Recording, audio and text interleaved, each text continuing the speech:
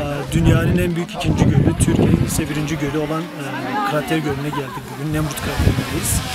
Doğa severleri burayı bekleriz. Ee, yukarıdan bakma fırsatımız da oldu. Şu anda ise e, ileride ise daha büyük göller bulunuyor. Burada ise küçük olan bir tane göl var. Şu an burada göl yemeğimizi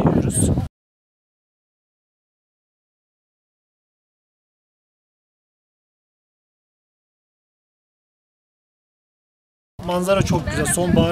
Sonbahar renkleriyle birleşince çok daha güzel oluyor. İlk defa geliyorum ve çok güzel. Herkesi de buraya bekleriz yani.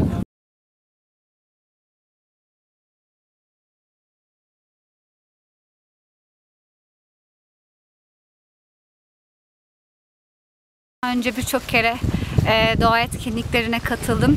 E, bu Nemrut kraterlerine ilk defa katılıyorum. Burada eşsiz bir manzara var ve bunun tadını yaşıyoruz şu an.